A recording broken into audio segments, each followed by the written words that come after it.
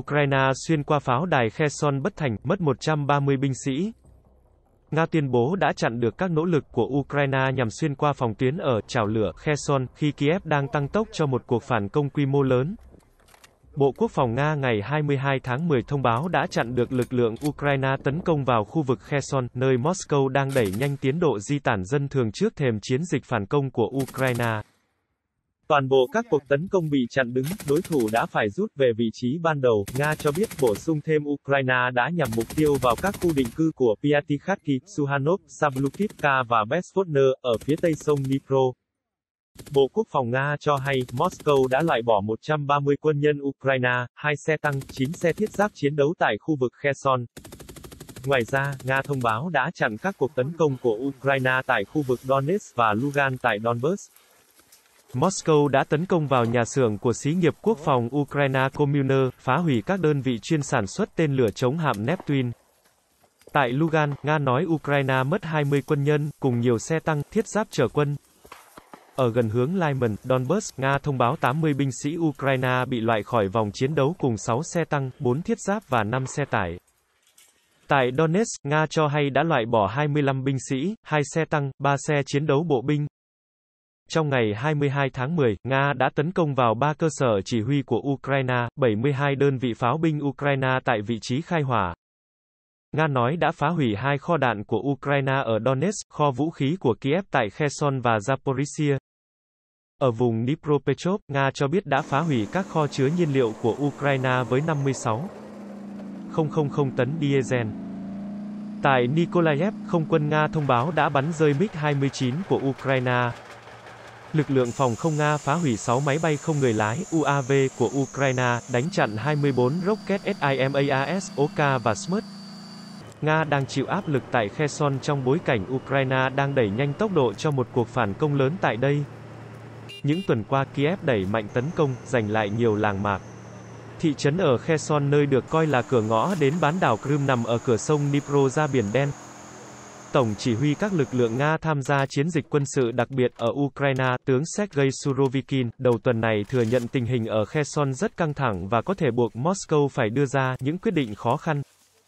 Chính quyền thân Nga ở Kherson đã kêu gọi người dân di tản khẩn cấp khỏi khu vực để tránh rủi ro khi chiến sự đang leo thang mỗi ngày. Hôm 21 tháng 10, Ukraine nói rằng Nga đã bắt đầu đưa các đơn vị và khí tài quân sự từ phía Tây tới bờ phía đông sông Dnipro. Giới chức Kherson tuyên bố, phòng tuyến tại khu vực Kherson của lực lượng này đã được chuẩn bị sẵn sàng để đối phó với các đợt phản công của quân đội Ukraine. Ông Kirill Chemosov, phó lãnh đạo khu vực Kherson, ngày 20 tháng 10 cho biết, quân đội Ukraine đang mất trung bình 200 quân mỗi ngày tại vùng này khi tiến hành chiến dịch phản công. Theo quan chức trên, hệ thống phòng thủ ở Kherson được xây dựng một cách chuyên nghiệp và đặc điểm địa hình giúp quân đội Nga có thể xác định chính xác bất kỳ nỗ lực đột phá nào của quân đội Ukraine.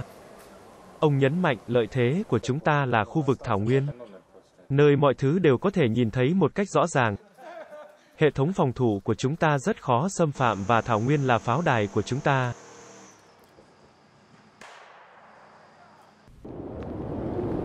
Trong thư gửi cựu Tổng thống Trump, Ủy ban phụ trách điều tra vụ bạo loạn trên đã cáo buộc ông Trump là nhân vật trung tâm trong vụ bạo loạn tại tòa nhà Quốc hội. Cơ quan này cho biết đã thu thập được nhiều bằng chứng cho thấy ông Trump đích thân điều phối và giám sát nỗ lực nhằm lật ngược kết quả của bầu cử tổng thống năm 2020, gây cản trở tiến trình chuyển giao quyền lực. Ủy ban cũng yêu cầu cựu tổng thống Trump nộp một số tài liệu liên quan trước ngày 4 tháng 11 và ra điều trần vào khoảng ngày 14 tháng 11. Trong khi đó, đội ngũ luật sư của ông Trump cho biết sẽ xem xét và phân tích tài liệu cũng như sẽ đưa ra phản ứng phù hợp. Trước đó hôm 13 tháng 10, toàn bộ 9 thành viên của ủy ban trên đã bỏ phiếu nhất trí triệu tập cựu Tổng thống Trump ra điều trần nhằm làm rõ vai trò của ông trong vụ bạo loạn tại đồi Capitol vào ngày 6 tháng 1 năm ngoái, khiến 5 người thiệt mạng và hơn 100 cảnh sát bị thương. Lực lượng chức năng đã bắt giữ 535 người để phục vụ điều tra. Thông báo cho hay, lực lượng phòng không Syria đã được kích hoạt và đánh chặn thành công nhiều tên lửa. Trong khi đó, Tổ chức Giám sát Nhân quyền của Syria có trụ sở tại Anh cho biết, cuộc tấn công của Israel nhằm vào các địa điểm quân sự ở khu vực lân cận sân bay quốc tế Damascus và ở vùng nông thôn phía tây nam của thành phố này. Tính từ đầu năm 2022 đến nay, Israel đã thực hiện 26 cuộc tấn công tên lửa nhằm vào các địa điểm quân sự ở Syria. Cuộc tấn công gần đây nhất của Israel được thực hiện vào ngày 17 tháng 9 vừa qua. quân đội Israel đã không kích vào sân bay quốc tế Damascus và các địa điểm khác ở phía nam thủ đô, khiến 5 binh sĩ thiệt mạng và gây thiệt hại về vật chất.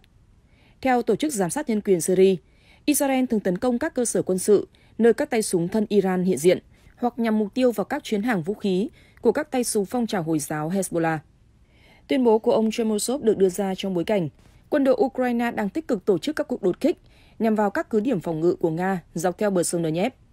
Theo giới quan sát, tình hình tại Kherson đang trở nên rất căng thẳng do phía Ukraine đã dồn về đây một lực lượng đông đảo binh sĩ và vũ khí hạng nặng nhằm giành lại thành phố chiến lược phía nam này trước khi mùa đông khắc nghiệt ập đến. Lo ngại trước kịch bản quân đội Ukraine tấn công ồ ạt bằng pháo binh và tên lửa vào Kherson, chính quyền thân Nga tại thành phố này đã tiến hành sơ tán khoảng hơn 60.000 dân sang lãnh thổ Nga.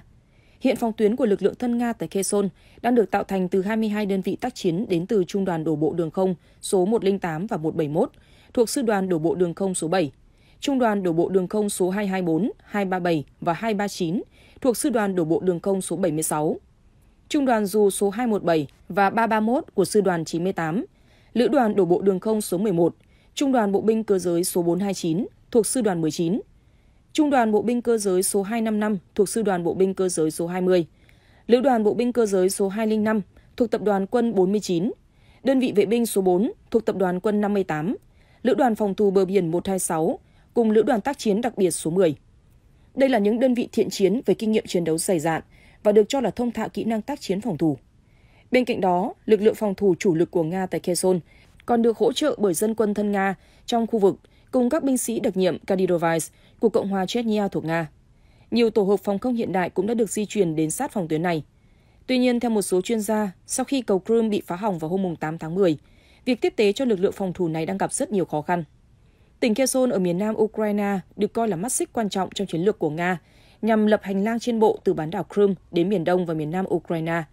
Kherson là một trong bốn tỉnh ly khai tại Ukraine mà Nga tuyên bố sắp nhập vào tháng trước, bất chấp sự phản đối của Kiev. Bài đăng của ông Medvedev bắt nguồn từ thông tin trên tạp chí Economist tuần trước rằng chỉ trong 7 ngày nắm quyền kể từ khi thời gian để tang nữ hoàng Elizabeth đề nghị kết thúc, bà Truss đã làm nổ tung chính phủ. Theo Economist, 7 ngày cũng là thời hạn sử dụng của rau diếp. Tờ Daily Star sau đó tiếp tục trò đùa này khi cho rằng rau diếp tồn tại lâu hơn nhiệm kỳ thủ tướng của bà Truss. Họ phát trực tiếp hình ảnh một cây rau diếp được gắn mắt, miệng, đội tóc giả bên cạnh một chiếc đồng hồ. Sau khi bà Truss từ chức, họ đội vương miện cho cây rau diếp và tuyên bố nó đã chiến thắng.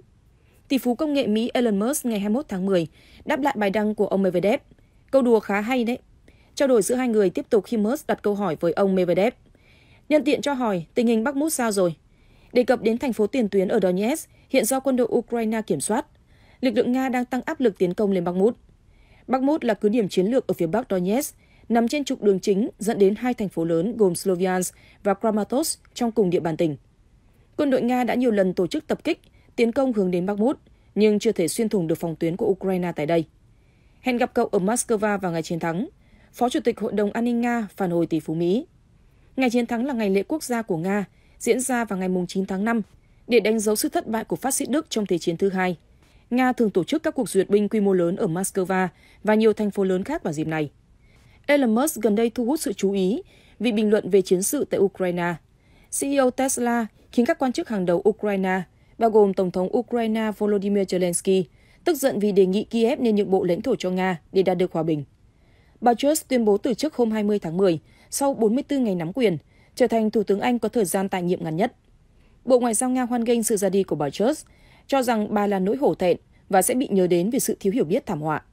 Quan hệ giữa Nga và Anh xuống mức thấp kỷ lục từ khi Moscow mở chiến dịch quân sự tại Ukraine. London là bên dẫn đầu ở châu Âu về viện trợ quân sự cho Kiev. Theo ông Tavares, Jakarta phải thảo luận về vai trò tương lai của đất nước trong quá trình hội nhập, cân nhắc mọi vấn đề, sau đó chính phủ sẽ đưa ra quyết định. Nói đến những lợi thế mà Indonesia nhận được khi trở thành thành viên của BRICS, nhà ngoại giao Indonesia cho biết, việc tham gia ngân hàng phát triển chung của khối sẽ là một trong những cơ hội của nước này. Trước đó, Chủ tịch Hội đồng Liên bang Nga Valentina Matvienko cũng cho biết Indonesia muốn gia nhập nhóm BRICS. Brazil, Nga, Ấn Độ và Trung Quốc đã thành lập BRICS từ năm 2009. Sau đó đến năm 2010, Nam Phi cũng gia nhập nhóm. BRICS hiện chiếm hơn 16% thị phần thương mại toàn cầu và đại diện cho hơn 40% dân số thế giới. Hồi tháng 5, Trung Quốc cho biết nước này muốn mở rộng khối kinh tế BRICS. Người phát ngôn Bộ Ngoại giao Nga Maria Zakharova cũng đã hoan nghênh đề xuất trên.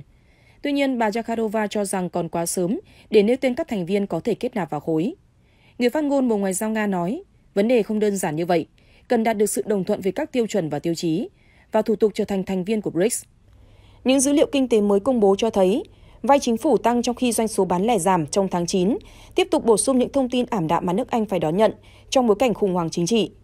Vay dòng chi tiêu công tại Anh trong tháng 9 ở mức 20 tỷ bảng, tương đương 22 tỷ đô la, mức cao thứ hai từng được ghi nhận trong các tháng 9 mỗi năm, trong bối cảnh lạm phát tăng lên mức cao nhất trong nhiều thập kỷ, khiến lãi suất các khoản vay cũng tăng lên.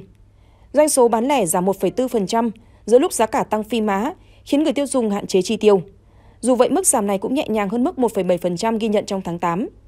Những dữ liệu kinh tế này ngày càng khiến bức tranh chung tại Anh thêm ảm đạm, bởi một ngày trước đó, Thủ tướng Liz Truss đã từ chức sau 45 ngày nhậm chức, do kế hoạch cắt giảm thuế mà chính phủ của bà công bố nhằm thúc đẩy phát triển kinh tế, nhận phải phản ứng tiêu cực từ các thị trường. Vay chi tiêu công đã vượt mức các nhà phân tích dự báo trước đó là 17,2 tỷ bảng, vốn đã là mức cao hơn nhiều so với dự báo của chính phủ Anh. Nhà kinh tế cao cấp Ruth Gregory từ Capital Economics nhận định doanh số bán lẻ thấp, dự báo vai chi tiêu công vượt mức sẽ khiến Thủ tướng sắp tới thay thế bà Truss phải đương đầu với nhiệm vụ khó khăn nhằm điều hướng nền kinh tế, vượt qua cuộc khủng hoảng chi phí sinh hoạt, cuộc khủng hoảng chi phí vay và cuộc khủng hoảng lãi suất tín dụng.